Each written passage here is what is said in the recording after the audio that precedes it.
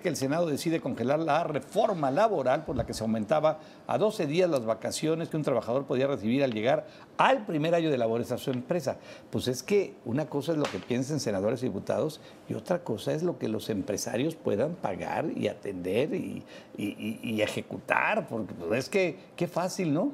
De veras, qué cómodos los políticos, cómo no se van del otro lado para que vean lo, es lo que te digo. cuesta. eh, eh, reforman algo, votan por algo, pero les vale gorro cómo se vaya a arreglar. Gorro, gorro, gorro y gorro. Estamos en Entre Todos Digital. Suscríbanse Entre Todos Digital en tu canal de YouTube.